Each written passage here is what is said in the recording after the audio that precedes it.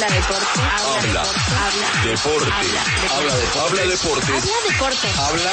Habla. Habla. Habla deporte. Habla. Habla. Deportes. Habla deportes. Radio. Somos un medio de comunicación que genera experiencias a través de la pasión del deporte. Habla deportes. Habla deportes. Radio.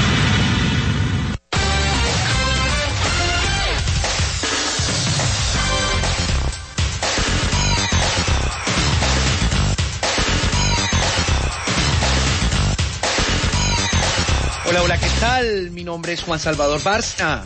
Soy director de Habla Deportes. Bienvenidos a Habla Deportes Radio con la más completa información deportiva nacional e internacional.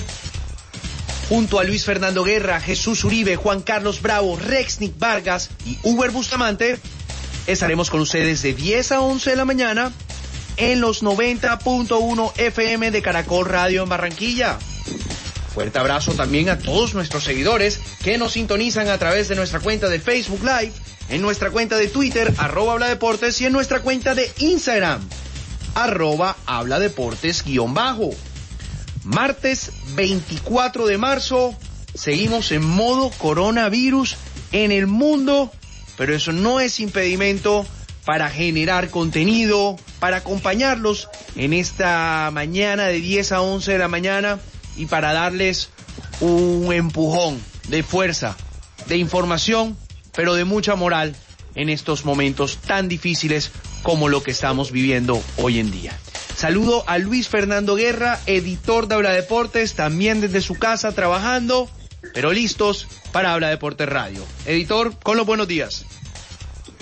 Hola Juan, cordial saludo para ti y para todos los oyentes de Habla Deportes Radio en este martes que, bueno, martes que parece lunes, pero un martes importante porque hoy en nuestro país comienza el aislamiento que pidió como tal, que decretó el gobierno nacional y al cual yo creo que todos debemos hacer caso, debemos intentar quedarnos en nuestras casas, no replicar en los siguientes días lo que se ha visto hoy en, la- en horas de la mañana, donde las estaciones de Transmetro en, Bo- de, Barranquilla, las estaciones de Transmilenio en Bogotá, en el Emilio en Cali, la gente está full. Estos son temas que no se deben repetir. Estos son temas que hay que tener cuidado, hay que tener, hay que estar en casa. No podemos replicar lo que ha pasado en Italia, lo que ha pasado en España, donde la crisis es absoluta, Juan. Sí, Luis Fer, ¿tienes ya las estadísticas hasta ahora para ir informando a la gente siempre minuto a minuto lo que venimos haciendo en las notas de la noche en www.habladeportes.co, actualizando en cómo va el número de infectados por ese coronavirus? Sí, señor, aquí le tengo el dato. El día de ayer, que fue la último, el último corte que hizo el Ministerio de Salud a la espera de que publique la información hoy, se han confirmado 306 casos de coronavirus en nuestro país. Ayer en la noche fueron 29 nuevos casos de este virus que se... Vamos a, a desarrollarlo así.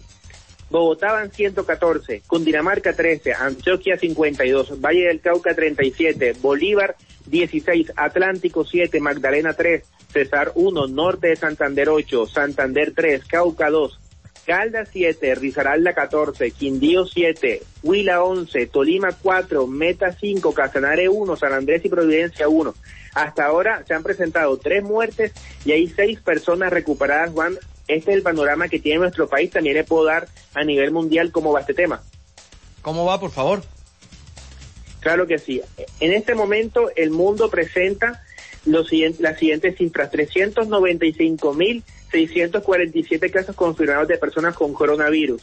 En total van 17.241 muertos y 103, 103, 103, 103.317 personas recuperadas.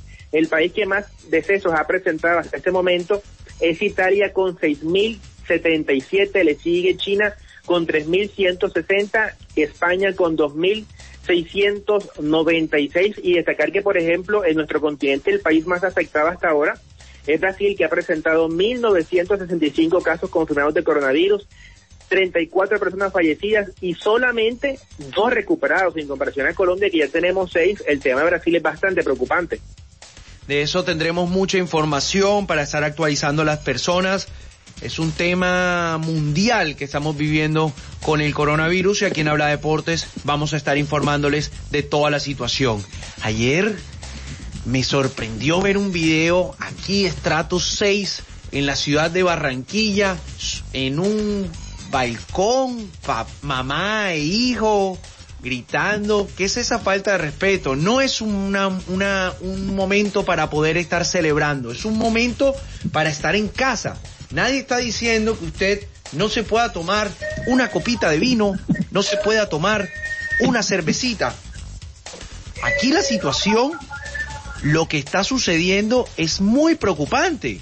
No es para estar haciendo escándalo. Si bien ahora estamos viendo cómo está el ser humano actuando bajo el encierro, ese tipo de papelones está para recoger. Ese tipo de papelones no es lo recomendado para estar haciendo en casa y ese tipo de papelones, Luifer, pues también requieren de un comparendo como fue entregado ayer al final de la noche en esta familia que hizo un escándalo que se volvió viral. A ver, yo creo que estos son momentos donde lamentablemente también sale lo malo de las personas. Normalmente la gente hace caso, normalmente la gente se comporta bien, pero siempre hay uno que otro que rompe la regla, que hace este tipo de ridículos, porque son ridículos lo que hacen. No ven el momento que está pasando el mundo, yo no sé, o sea, en la cabeza de quién pasa poner música a todo volumen, bailar, tomar, a ver, no es la idea, no es un momento para eso, es un momento para estar pendiente de las noticias, es un momento para reencontrarse como familia, pero de buena manera, hablando, charlando, contando anécdotas, no con la música a todo volumen, molestando a los vecinos que de pronto también tienen la necesidad de estar en tranquilidad, porque a ver, no, eres tú en el mundo, tú no eres una isla, vives en una sociedad y lo que tú haces de tal manera también puede afectar a tu vecino y eso es lo que se debe intentar evitar en este momento donde el aislamiento es obligatorio por 19 días. No, y hubo un comunicado que dice, en vista de los innumerables comentarios y videos que se han generado en nuestra ciudad y propagadas en redes sociales, respetuosamente queremos aclarar y manifestar lo siguiente. Eso lo escribe la señora. Nos encontramos en una residencia acatando las medidas impartidas por el gobierno nacional y demás autoridades pertinentes. Por ello, programamos un plan familiar al interior de nuestro apartamento para pasar un momento agradable dentro de esta difícil situación, sin la más mínima intención de hacerle daño u ocasionar algún tipo de molestia a nadie. Antes, por el contrario, nuestras intenciones era romper la monotonía y ponerle buena cara a este desagradable momento con esta grave pandemia del coronavirus. Es así como en la noche de ayer hicimos una cena familiar que se extendió por varias horas. Hemos salido a nuestro balcón por tres días consecutivos a las 8 pm para solidarizarnos con el cuerpo médico, así como lo han hecho muchas familias por todo el mundo con pitos, ollas y bubuzuelas con megáfonos. Estamos acostumbrados a estar en familia y a celebrar juntos las bendiciones que Dios nos regala. En ningún momento fue nuestra intención perturbar a nadie. Sin embargo, pedimos excusas a todas las personas de una u otra forma que se sintieron afectadas por las molestias ocasionadas. Solo estábamos pasando una velada en familia. Mm, tremenda velada. Quienes nos conocen saben que siempre nos gusta estar con nuestros hijos, con quienes tomamos, bailamos y comemos. Ojalá todas las familias hicieran lo mismo, no creo, señora. Y como padres tratamos esa noche de distraerlos y alegrarnos sanamente. Aceptamos la equivocación y reiteramos nuestra solidaridad con las medidas decretadas por el gobierno. Será la última vez que saquemos el megáfono, pero no será la última que tomemos, bailemos y comamos unidos en familia en nuestro hogar de la mano de Dios y sigue dándonos gracias por las cosas bellas de la vida. Esperemos que a través de este comunicado nos disculpen y sepan entender de la mejor manera lo acontecido y pedir igualmente el favor que se ha difundido este comunicado de la misma forma como lo hicieron con los videos de nuestra reunión privada. En todo caso, Luifer, salimos a deberle a la gente que subieron este video y pues eh, ellos están haciendo algo normal, pero claramente eh, hicieron que toda la sociedad y la comunidad alrededor, pues, se indignara ante esta situación que estamos viviendo a nivel mundial, Luífer. No, increíble Juan, porque realmente uno escucha lo comunicado que ellos están diciendo y prácticamente es como que, a ver, está mal la crítica, la crítica que se le ha hecho, a ver, no es una crítica por, por malo, una crítica destructiva, no. Esto es una crítica que se hace porque no es momento de sacar un megáfono molestar a los vecinos en un momento donde lo primordial es la paz, lo primordial es, Es un momento mantener unos crítico. niveles de cordura. A ver, si quieres escuchar música con tu familia, nadie te está diciendo que no lo puedes hacer, pero hazlo para ti, no hazlo para tus vecinos que de pronto necesitan ese espacio para poder encontrarse, para poder hablar. De pronto tú no sabes si el vecino, eh, el del frente, el de al lado, tiene un familiar enfermo y necesita silencio para poder dormir, para Porque poder hay gente que recuperarse. está que enferma de otras cosas y la gente de la sigue su vida, que alrededor. Claro, es que hay gente que todavía, hay gente con cáncer, hay gente que tiene enfermedades terminales, hay gente que tiene una cadera fracturada, hay gente que todavía sigue enferma pese al coronavirus. Y nosotros como sociedad tenemos que hacer que todos ellos tengan una vida más tranquila y un momento difícil en una tranquilidad que está pidiendo todo el planeta. Maestro, por favor, vamos enseguida con las efemérides de hoy 24 de marzo. Un 24 de marzo de 1961, 65 por primera vez se enfrentaron dos equipos argentinos por la Copa Libertadores. Fue en semifinales. Independiente venció 2 a 0 a Boca Juniors en la ida y el Ceneice triunfó por 1 a 0 en la vuelta, por lo que hubo necesidad de un desempate que quedó 0 a 0 y le dio el pase a los de Avellaneda por mejor diferencia de gol. Un 24 de marzo del 70 nace el lanzador zurdo venezolano Wilson Álvarez, quien es recordado por conseguir un juego sin imparables y carreras vistiendo los colores de los Medias Blancas de Chicago que le ganaron 9 a 0 a los Orioles de Baltimore. Un día como hoy del 73 nace Marcelo El Chelo Delgado, delantero y figura de Racing y Boca. Con el Ceney se ganó tres Copas Libertadores, convirtiéndoles, convirtiendo goles en las finales del 2001 y 2003. También jugó para Belgrano, Cruz Azul y Barcelona de Ecuador. Este jugaba Luífer. Y tenía, tenía una jugada característica, Juan. Con los tres dedos siempre te tiraba unos centros precisos para alimentar a Palermo en el momento de marcar goles. Pero hablando del Chelo Delgado, Juan, y también le pregunto a los oyentes que nos están escuchando en este momento, ¿cuál es el extremo que a ti más te ha gustado desde que veo el fútbol? Lo que pasa es que Boca tenía un momento extremo, Barros Esquelotos, extremo, Marcelo El Chelo Delgado y Martín Palermo. Y eso funcionó cuando se fue Juan Román Riquelme, que jugaron sin 10 y entró Pedro Yarley para jugar en Boca Juniors. Pero entre el Chelo y Guillermo, hmm, tendría que poner también a Rodrigo Palacio, que fue un excelente win en Boca. No, pero a ver, a mí entre, si me pones a elegir entre Guillermo, Marcelo y Rodrigo Palacio, me quedo con el Chelo Delgado. Chelo, Sí, totalmente. Me parece que el Chelo, además porque era un jugador extraño, porque no era un jugador tan rápido, sino que era un jugador que en base a su técnica era capaz de marcar diferencia en los rivales con su drible, con su pegada, porque es que tenía una pegada, era un pie exquisito, pero, pero de verdad. Un toquecito abajo la cortina, pero un toquecito nada más, querido Rexnick, porque seguimos, porque un día como hoy del 78 nace el defensor checo Tomás Ufaluzzi, quien con el Atlético de Madrid ganó una Europa League y una Supercopa de Europa. Fue compañero de Falcao y Luis Amaranto Perea en el colchonero. Luis Fera, ¿quién llegó un día y le metió una patada que casi lo mata? A Lionel Messi. Cierto, fue a Messi, ¿verdad? Sí, casi le, casi le parte el tobillo. Era bueno igual. A mí, a mí la verdad, Faluzzi no me gustaba mucho, Juan. Me pareció un jugador bastante pegador, pero como defensa, normalito. Es mi parecer.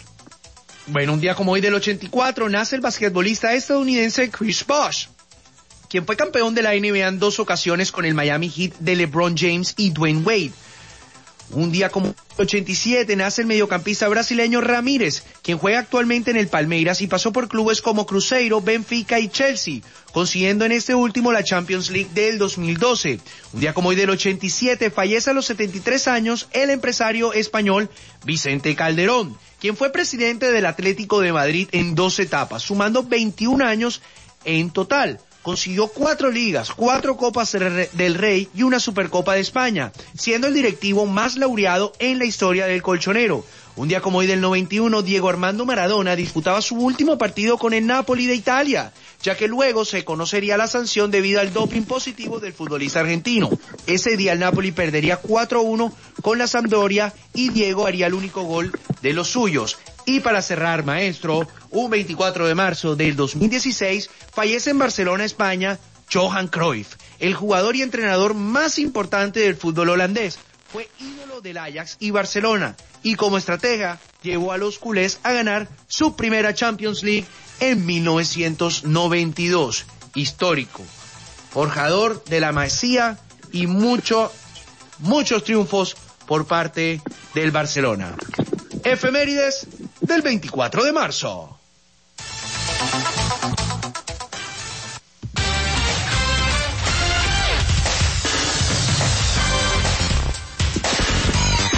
Bueno, Luisfer, eh, maestro, por favor, con la rondita de noticias de nuestro amigo Jesús Uribe, con toda la información del coronavirus a nivel mundial.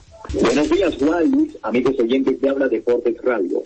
Fatih Terim, actual entrenador del Galatasaray, equipo donde milita Falcao García, anunció que dio positivo en una prueba de coronavirus. Estoy en el hospital, en buenas manos. No se preocupen, haré noticias lo antes posible, manifestó el entrenador en su cuenta de Twitter. Por otro lado, la UEFA tomó la decisión de replantear el calendario de las finales de la UEFA Champions League y de la Europa League, debido a la crisis mundial ocasionada por el coronavirus. Los juegos estaban previstos a jugar el 30 de mayo en Estambul, la final de la Champions, y el 27 del mismo mes se jugaría en Polonia la final de la Europa League. Por otro lado, luego de que se suspendiera el fútbol paraguayo en su décima fecha, Emanuela de Bayor decidió volver a Togo para pasar la cuarentena con su familia. Sin embargo, en su escala, Benín fue obligado a ponerse en cuarentena por 14 días, impidiéndole de esta manera volver a su país de origen. Los jugadores del Bayern Múnich y otros clubes alemanes aceptaron rebajar su salario para ayudar a sus dirigentes a hacer frente a la crisis creada por la pandemia del coronavirus, informaron los medios de ese país. Este fue un informe para Habla Deportes Radio de Jesús Uribe en los 90.1 FM de Caracol Barranquilla.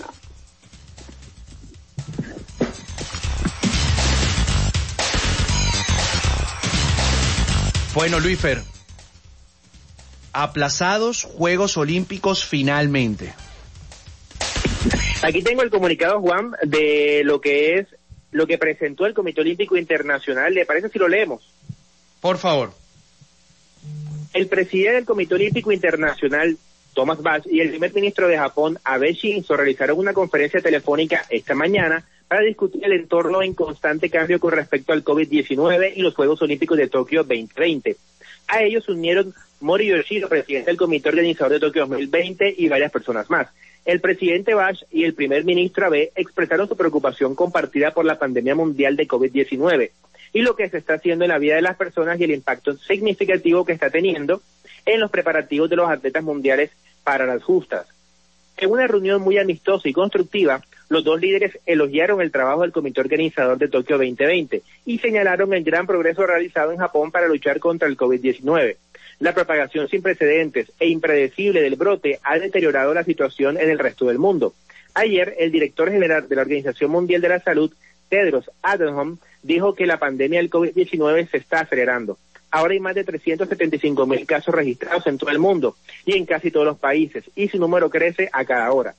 En las circunstancias actuales y con base en la información proporcionada por la OMS, el presidente del COI y el primer ministro de Japón han concluido que los Juegos Olímpicos de Tokio deben reprogramarse para una fecha posterior a 2020, pero no más tarde del verano de 2021, para salvaguardar la salud de los atletas todos los involucrados en los Juegos Olímpicos y la comunidad internacional.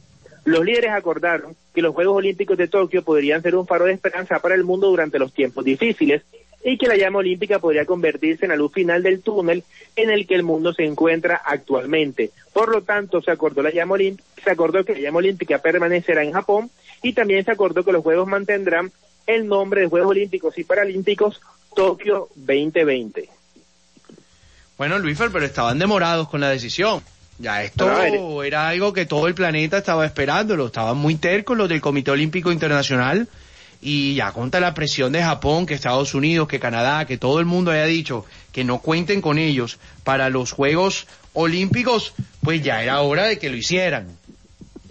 Yo creo que Juan, que el tema de esta cancelación se vea, no porque el COI haya tomado la decisión de carácter propio de decir, bueno, no se puede hacer esto por el coronavirus que está viviendo el mundo, sino que la presión de Estados Unidos, sobre todo Estados Unidos, que es la mayor potencia olímpica del mundo, el momento que vive China, lo que puso Canadá, lo que puso Suiza, lo que puso el propio Comité Olímpico Colombiano, que también pidió la, el aplazamiento de las justas, obligaron a que sí o sí los Olímpicos de Tokio 2020 se aplacen al 2021. Es que era la decisión más lógica. ¿Cómo un deportista va a participar en unos Juegos Olímpicos cuando ni siquiera está compitiendo o entrenando de manera normal por el aislamiento que prácticamente tiene el mundo actualmente? Era de esperarse, se va para el 2021, no va a cambiar el nombre, va a ser en el 2021, pero se va a llamar Tokio 2020. No, o sea, eso, eso, eso es interesante porque unos Juegos Olímpicos del 2021 que tengan el 2020, pues, ¿qué te digo? Bastante raro. Era de esperarse. Luífer, eh, voy a pasar yo los audios desde acá del otro teléfono con los informes de nuestros compañeros Uber Bustamante en boxeo y Juan Carlos Bravo con el béisbol.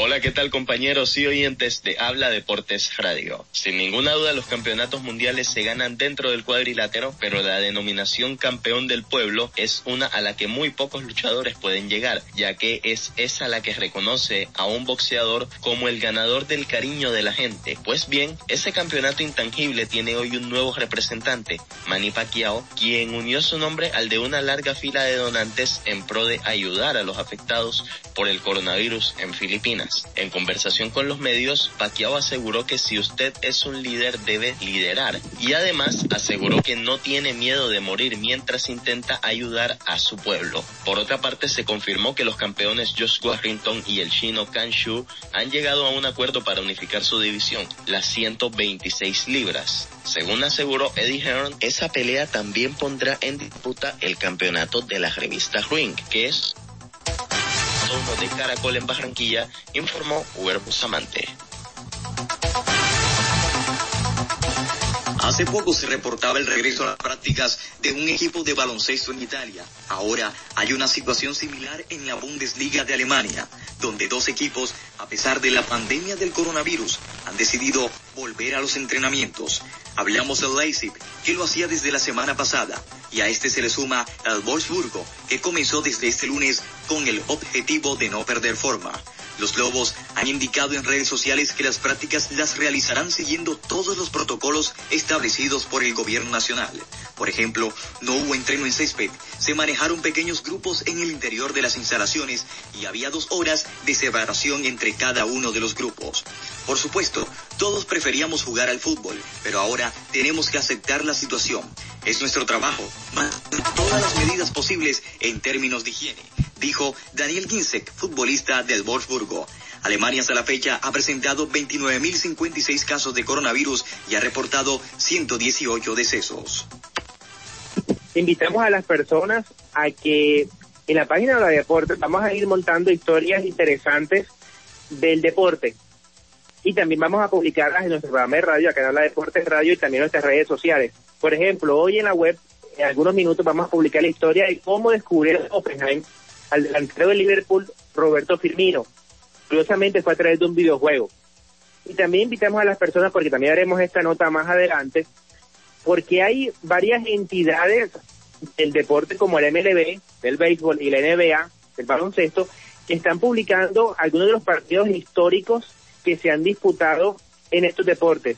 Haremos una nota con algunos de esos encuentros que están disponibles de manera gratuita para que la gente los pueda observar de la mejor manera y puedan disfrutar en este aislamiento a través de sus cuentas de YouTube, sus teléfonos, de cualquier redes sociales, estos compromisos que llevaron a la gloria a cada uno de los deportes. Por otra parte, también tenemos la información interesante que presentó el, el Instituto de Negocios del Deporte, donde anunció cuáles serían las pérdidas de los torneos y las ligas más importantes del mundo, comenzando por ejemplo con el deporte estadounidense, donde las grandes ligas tendrían una pérdida aproximada de 2 billones de dólares con el parate que hay actualmente en el deporte por el coronavirus. La NBA sufriría una pérdida de 1,2 billones de, dólares. La NCAA, que es el deporte de universitario en los Estados Unidos, perdería un millón de dólares mientras que la MLS, la NHL, que es de hockey, y el NASCAR, que es de automovilismo, perderán 900 millones de dólares.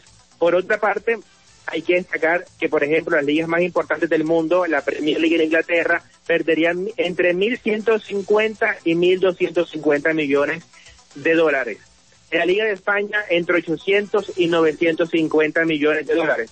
La Bundesliga, entre 650 y 750 millones de dólares. La Serie A, entre 550 y 650 millones de dólares. Mientras que la Liga de Francia, 300 o 400 millones de dólares. Entonces realmente vemos que es una situación preocupante, increíble lo que está viendo el mundo con todo el tema del coronavirus. Entonces, eh, a ver, eh, los deportes seguramente están buscando la manera de encontrar este dinero que se está perdiendo en, a nivel mundial, como es en Inglaterra, como es en España, como es en Alemania, porque si no hay dinero, ¿cómo haces para mejorar los de cada uno? Si no hay dinero, ¿cómo haces para poder pasarlo, eh, poder contratar jugadores importantes?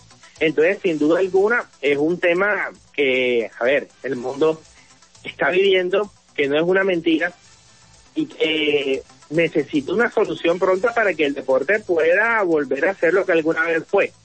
Juan.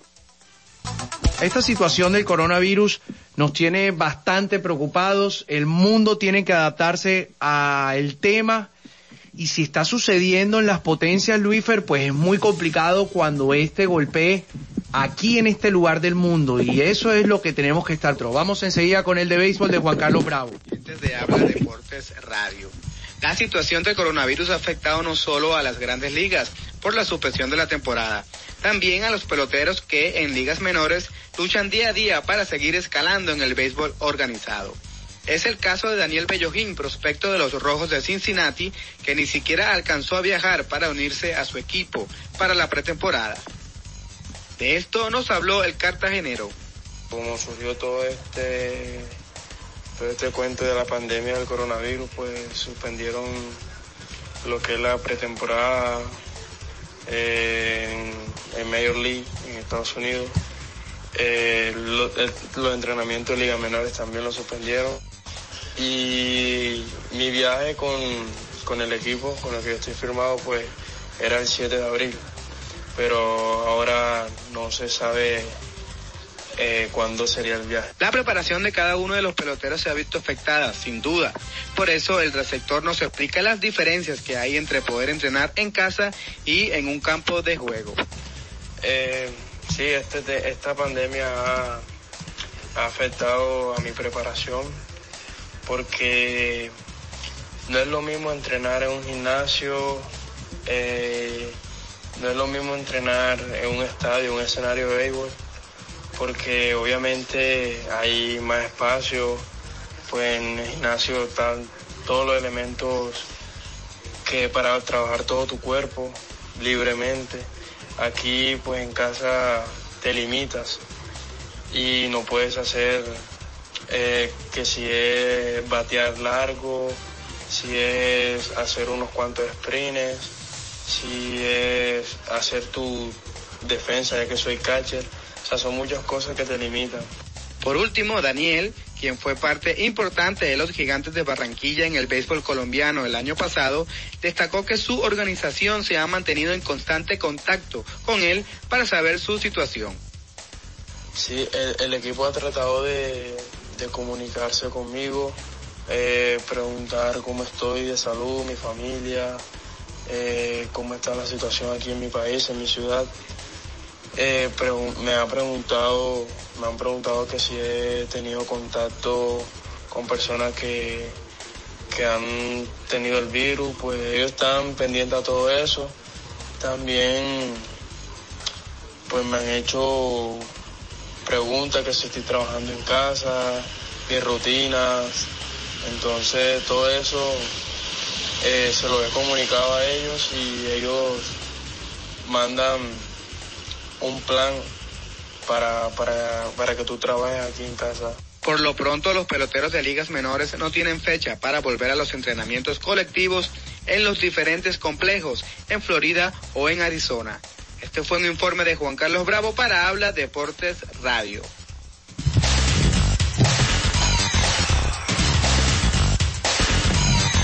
Estamos de regreso en Habla Deportes Radio. Muchos jugadores, prospectos del béisbol de las grandes ligas, todos tomando las medidas necesarias y las recomendaciones claramente por parte de los managers y de sus organizaciones. Luifer, muchos optaron quedarse en sus complejos guardados y tomando las medidas necesarias para combatir el coronavirus. Sí, así es, porque sobre todo la, la parte de béisbol que más está yendo afectada por todo el tema del coronavirus son las ligas menores, donde se han presentado hasta ahora tres casos. Entonces, obviamente, eh, es, es notoria la preocupación que hay en, las, en los equipos de grandes ligas con los muchachos más jóvenes para que esta enfermedad no se propague entre ellos y de la misma manera se pueda propagar entre los peloteros de grandes ligas porque es conocido que estos muchachos son amigos algunos de los peloteros que están en los equipos grandes. Entonces, mientras tú logras controlar ese foco de, infección que está ya presente en los jugadores más jóvenes, también intentarás evitar de alguna manera que en las grandes ligas no se infecten de coronavirus, al menos por esta vía. Es lo más lógico que un muchacho, por ejemplo, este caso Daniel Bellojín, que jugó en los gigantes de Barranquilla durante la temporada pasada, aquí en el béisbol colombiano, esté contando lo que nos relató a nosotros en la Deportes Radio, que es que están en casa, la entrenación se tiene que hacer en casa y para un pelotero, por ejemplo, como él, donde necesita la compañía de alguien más que le lance pelotas constantemente para que pueda practicar su defensa, que necesita un lugar amplio para poder practicar con su brazo el lanzamiento a las bases para que no se las roben. Entonces, eh, es complicado para este tipo de muchachos poder desarrollar su temporada, pero ¿qué más va a ser, qué más se puede hacer? No se, Se puede ir un campo el aburrimiento a todos en la voz, Luifer, es impresionante. Claro, Juan, es que es que el béisbol es un deporte como el fútbol en conjunto. Y a diferencia del fútbol donde, digamos, tú la física, en la parte física puedes guardar cierto aspecto para poder competir de buena manera. Si tú no practicas con la pelota de béisbol, con compañeros, con, con situaciones estimuladas, vas a estar en nada. Bueno, Luifer, vamos a escuchar las recomendaciones del alcalde Jaime Pumarejo en un informe que armó Jesús Uribe.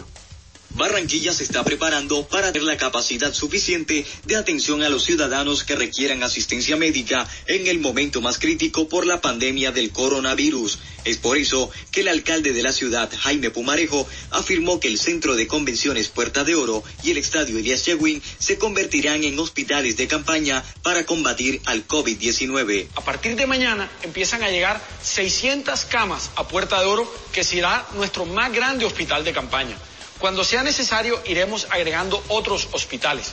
Ya hemos determinado sitios como el Elías Chewin y diversos hoteles que servirán como sitios de albergue para las personas con sintomatología más leve y que deban ser aislados. A partir de hoy comenzarán a llegar 600 camas y el inicio de toda la dotación necesaria. La instalación se hará en 15 días con más de 1.200 colchones, camas e implementos utilizados en los Juegos Centroamericanos y del Caribe 2018. La palabra del alcalde Jaime Pumarejo, bastante activo en redes sociales, Luifer, todos los días, al igual que el presidente. Y las medidas son claras, quedarse en casa. Tenemos que cortar esta pandemia aquí en la ciudad de Barranquilla y me parece que en teoría la ciudad está cumpliendo con todas las recomendaciones. A ver, es que el barranquillero, salvo algunos casos como el que mencionamos anteriormente, está haciendo caso de lo que está aconteciendo y de lo que está previniendo las entidades gubernamentales como la alcaldía, como la gobernación y como la propia nación. Si tú eres una persona capaz de entender lo que está viviendo el mundo, entonces te vas a quedar en tu casa. Salvo casos mayores de personas que necesitan salir porque necesitan atención médica, porque prestan atención médica o porque su punto de trabajo, haciendo caso omiso de las responsabilidades que está buscando el gobierno nacional, haya puesto a laborar a las personas en la calle y no en el teletrabajo como se está pidiendo. Pero yo creo que la gente en Barranquilla está respondiendo. La gente en Barranquilla es inteligente con lo que con lo que se necesita para poder salir adelante y esperemos que esto se replique en los números, que es lo que queremos, que la, la cantidad de personas contagiadas por el COVID-19 sea mínima. Vamos a abrir las llamadas eh, en este momento, los últimos 10 minutos. 367-0423, ¿verdad? 367-0423, el teléfono de Habla Deportes Radio. ¿Cómo estás manejando esta crisis? Porque el mundo está en crisis. 367-0423, 367-0423, el teléfono de Habla Deportes Radio. Esperemos eh, la señal de nuestro amigo Rexnick. No sé si tendrá el pitico original cuando entre una llamada, pero queremos escucharte. 367-0423, 367-0423, el teléfono de Habla Deportes Radio. Bueno, Luis Fer, ¿y qué más tenemos para hablar mientras tanto? Mire, Juan, acá tengo una noticia bastante llamativa mientras esperamos la, la primera llamada de nuestros queridos oyentes. Y es que un futbolista del Portsmouth, esto hablando del balompié inglés, que se llama Sean Riggett, afirmó que supo que estaba infectado por el coronavirus en una fiesta donde estaba acompañado de alrededor de 25 personas y donde se fue inmediatamente. Cito, me quedé en shock, no quería creerlo. Cuando hice la prueba con mis compañeros de equipo no tuve ningún síntoma. Es aterrador y no sé cómo sentirme. Todavía no he salido de la casa y mi primera preocupación era no infectar a ninguna de las personas a mi alrededor. Había alrededor de 25 personas conmigo y me fui inmediatamente del lugar. Pero, pero Juan, retomando este caso, e, este, este es un ejemplo de por qué hay que quedarse en la casa, de por qué no hay que ir a fiestas, de por qué no hay que ir a discotecas, de por qué no es que hay que hacer encuentros familiares donde nos abrazamos y nos damos besos y nos damos la mano. Porque es que tú no sabes si estás o no estás infectado, porque muchos de los casos son asintomáticos. Las personas no saben que tienen el coronavirus hasta que se hagan la, la prueba, que a veces ni siquiera se la dan, tuvieron coronavirus, ni siquiera se enteraron, porque es muy latente que pasen este tipo de cosas, no solo en Colombia, no solo en Barranquilla, a nivel mundial. Entonces, con este ejemplo de este futbolista, Charles del, del Portsmouth, que fue una fiesta donde estaban 25 personas aproximadamente y se enteró que tenía coronavirus y es probable que algunas de las personas que estuvieron con él se hayan, hayan contagiado por estar en ese mismo lugar con este futbolista. Es importante entonces que la gente tome estos ejemplos para que se quede en casa. Muy buenos días, bienvenido a la Deportes Radio. Aló, muy buenos días. ¿Con quién tengo el gusto? ¿De dónde nos llamas? Con Guillermo Mejía, de la ciudad de Barranquilla. Bueno, Guillermo, disculpa, pero aquí cada uno está en su casa pasando los audios con un celular, tratando de llevar adelante este programa de Habla Deporte Radio. ¿Cómo vienes haciendo tú en tu casa? No, todos estamos por medio de las redes sociales, en torno a los computadores, celulares, utilizando la tecnología en estos momentos, que es nuestro mejor medio de comunicación. ¿En qué trabajas? Abogado. Abogado y todo está totalmente cerrado, eso no ni siquiera lo llaman para una consulta por teléfono. ¿Cómo, ¿Cómo hace un abogado hoy en día para ejercer su profesión? Pues bueno, las consultas nunca faltan, ni más ahora con todo lo relacionado con los decretos que quieren saber cómo es el nuevo orden, que quieren saber cómo está relacionado toda la actividad social actual en medio de las leyes. Entonces nunca está más la llamada.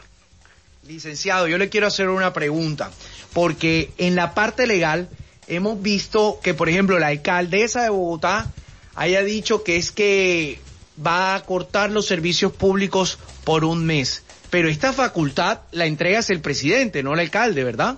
Completamente. Es que lo que debemos hablar aquí es de un orden administrativo.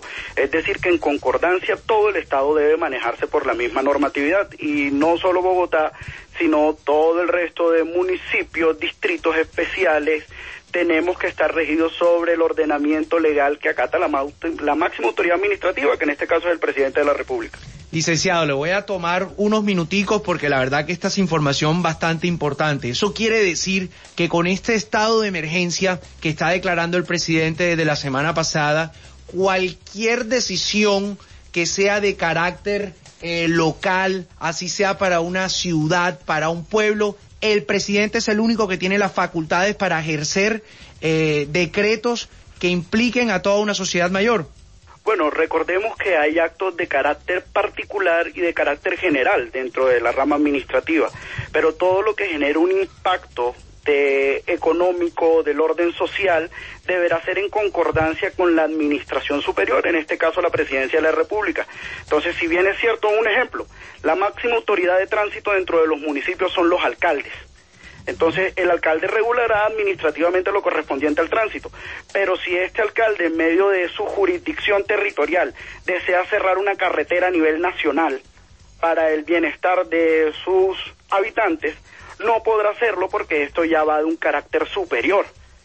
Entonces él no podrá tomar estas medidas que generen un impacto, un impacto colectivo en la sociedad. Entonces, es demagogia pura por parte de Claudia López. ¿Sí, Luis Entonces eso es lo que tenemos claro. Claro, no está de más el lastimosamente oportunismo político que prestan Claro. estas situaciones. Pero también teniendo claro que no nos engañemos, por más que sean servicios de carácter público, están en manos de sociedad público-privadas y que estos intereses económicos también el Estado velará por sobreguardarlos. ¿Está usted eh, enterado que saldrán entre 4 mil y 15 mil presos a casa por cárcel para prevenir el COVID-19? Bueno, es que ahí ya yo entraría a pensar qué es prevenir. Porque si usted me está diciendo que va a lanzar población a la población, entonces, ¿qué estamos haciendo con prevenir? Por ejemplo, si yo voy a hacer esa medida o si alguien tomaría esa decisión, debería saber que tengan un lugar habitacional fijo, que tengan las medidas sanitarias de salida del establecimiento penitenciario o carcelario en el cual se encuentran. Porque un ejemplo claro de esto es saber que por, eh, no han podido erradicar en muchas cárceles o establecimientos carcelarios de Colombia la tuberculosis. Sigue latente tuberculosis en muchos de los establecimientos carcelarios y a la fecha no han podido hacer nada con eso. Imagínese con un pequeño brote de coronavirus en estos momentos en un establecimiento carcelario. Sí, terrible. Luifer, ¿tienes alguna pregunta? Aquí abusando de la confianza del licenciado. ¿Me repite su nombre otra vez? Guillermo Mejía. Guillermo Mejía. Guillermo Mejía. Luifer, Oye, ¿tienes alguna profesor, pregunta? yo tuve un profesor que se llamaba Guillermo, me dijeron universidad, por cierto. Autónoma del Caribe, mi padre. Sí, sí, señor. ¿A su padre? Sí, Gran profesora. Gran de los mejores que hay por ahí. Sí, señor. Me lo saluda. Eh, bueno, Guillermo. Aquí lo tenemos Guillermo, resguardado en casa, lo tenemos resguardado. No, no puede salir, no puede salir para nada. Eh, señor Guillermo, si le quisiera de pronto, eh, más allá de una pregunta, yo dar una afirmación, usted me dirá qué piensa al respecto, por el tema que estamos hablando hace poco de lo que propuso Claudia López. Si es cierto que de pronto no está en su facultad que ella pueda tomar una decisión con respecto a los servicios públicos, pero no es menos cierto que se está viendo en la sociedad que muchas personas están siendo despedidas de sus trabajos porque pues las empresas no están generando ingresos y no generarán ingresos durante esta época del coronavirus. Si es, si es factible que el gobierno como tal pueda apostar porque por lo menos en un mes no se cobra a la gente los servicios públicos y que este cobro sea diferido en porciones mínimas durante los meses siguientes. Bueno, todo es factible dentro del poder del Estado. Entonces no podemos decir que está el gobierno de manos atadas sin poder hacer nada. Claro está, es sopesar las consecuencias socioeconómicas que trae una medida. Esto sin tener, esto teniendo en cuenta también que la Corte Constitucional hará revisión de todos los decretos que emanen de un estado de excepción. Entonces la Corte Constitucional al final dará esa luz verde que se necesitan en los decretos para saber que no se están vulnerando los derechos fundamentales de la población a los cuales se acogen dichos decretos. Ya bien si están tomando o están trabajando, porque el mensaje fue claro por parte de presidencia, y es trabajar en conjunto todos los poderes del Estado, entre esos la rama administrativa, alcaldes, gobernadores de los distintos municipios y departamentos del país, con la presidencia de la República, pueden estar evaluando la situación, pues claro, están pudiéndola evaluar en estos momentos. Que sea viable la toma de la decisión, ya eso corresponde de acuerdo a la realidad económica y también del poder del Estado en torno a estos gentes que nos dan estos servicios. Un ejemplo claro, Barranquilla. Barranquilla es socia minoritaria, hasta donde tengo entendido, de agua y alcantarillado AAA. Entonces Barranquilla también tiene unos intereses económicos por cuales velar dentro de este servicio, dentro de la prestación de este servicio. Pero hay que ver qué primará más para el Estado. Si estos intereses económicos, que también son a nivel nacional y estatal, o el interés de la comunidad más afectada porque, no nos digamos mentiras, económicamente el colombiano común no se encuentra en la capacidad de estar en la casa sin el día a día del ganado o sin el pan coger que tenía en la calle el mototaxista, el taxista regular, el transportador de buses. Entonces, esto es una situación de carácter socioeconómico que debe evaluar el gobierno para que el paquete de medidas que será revisado por la Corte Constitucional en este estado de excepción, lo que genere sea una estabilidad y no una partidura que al final todos terminaremos intentando remendar cuando salgamos de esta situación. Bueno, licenciado, nosotros habíamos que, querido abre- abrir la llamada de Habla Deporte Radio para que distintas personas nos contaran cómo viene manejando esta situación, pero vimos pertinente todas las recomendaciones legales de lo que está sucediendo y de que el alcalde no la tiene tan fácil para tomar decisiones porque tienen que ser consensuadas con la presidencia de la República. Así que si usted nos permite, nosotros vamos a hacer una nota escrita con sus recomendaciones según el marco legal para que la gente también esté informada acerca del tema. Claro, claro. Y una, una pequeña pregunta para ustedes. Señor. Saber cómo está, cómo va el estado de nuestros equipos de béisbol en, en el departamento del Atlántico. Hablo de Caimanes y de Gigantes. Bueno, ellos A ver, están ¿cómo todos eh, con sus equipos y sus organizaciones porque cada uno pertenecen a ellas, Luífer, ¿verdad? Bajo las recomendaciones que les dejan las franquicias. Sí, exactamente. Bueno, ahí por ejemplo estábamos escuchando hoy a Daniel Bellojín, catcher que jugó en los gigantes esta tempo- en la temporada pasada, luego el colombiano, y así es lo que se está viviendo. La mayoría de nuestros peloteros están o en Estados Unidos o en distintas ligas independientes, pero no hay béisbol, así que están prácticamente en sus casas esperando a ver qué se puede hacer durante estas campañas. Bueno, Luífer, ¿tienes algo para cerrar ahí de Comité Olímpico y de Hugo Gatti que tiene coronavirus? Que nos tenemos que ir ya para conectarnos con hoy por hoy, Martín.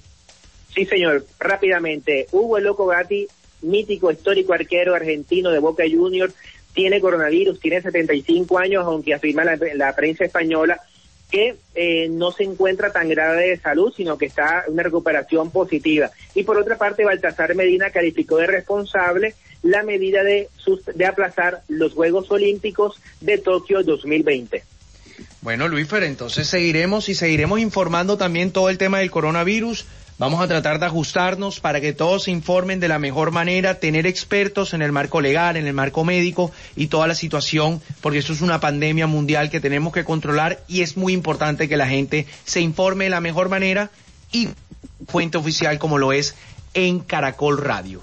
Así que siendo las 10 y 58 de la mañana, hemos llegado al final de Habla Deportes Radio. Recuerda seguirnos en nuestras redes sociales, Habla Deportes en Facebook, arroba la Deportes en Twitter, arroba la Deportes guion bajo en Instagram, en nuestra cuenta de YouTube, que también puedes escuchar nuestro programa y también en www.habladeportes.co. Mucha fuerza les estamos enviando, no se desesperen yendo al supermercado, siempre habrá algo en esos momentos, no le quite la oportunidad a otro de que pueda comprar algo o que se quede sin algo para comprar. Entre todos nos ayudamos y entre nos cuidamos. Cuiden a sus viejos, lávense las manos, quédense en su casa y estén sintonizados con Habla Deportes, con Caracol Radio. Yo me quedo con Martín ahora en Hoy por Hoy.